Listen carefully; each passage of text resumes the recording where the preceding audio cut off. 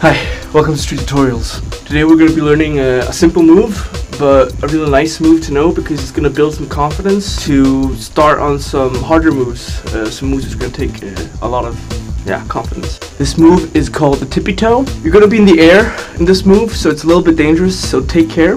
And it looks pretty much like this.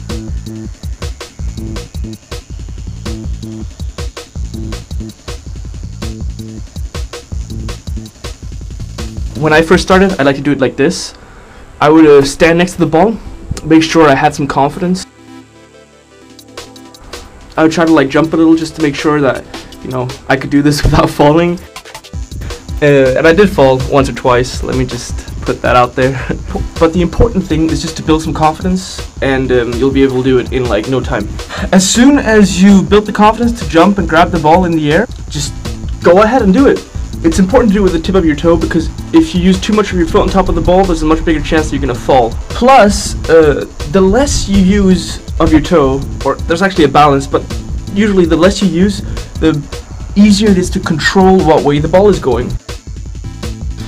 You're going to find out that in the beginning when you try this move, the ball is going to go everywhere. It's going to go behind you, in front of you, to the side of you, just live with it to begin with. It's very hard to control in the beginning. Uh, I still have problems controlling it with my left, unfortunately. So so don't worry if you fail like the couple of 50 first times or something like that. You're gonna get the hang of it and you're gonna be able to control it. Um, anyway, as I said, uh, you want to control it with the tip of your toe.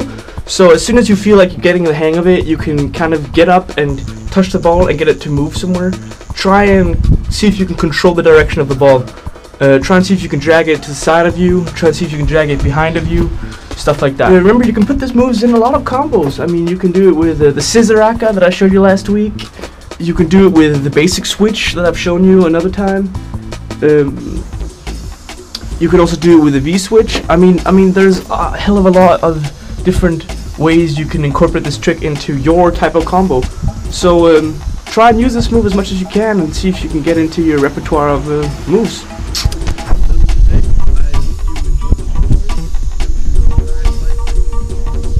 video if you feel needs to be shared.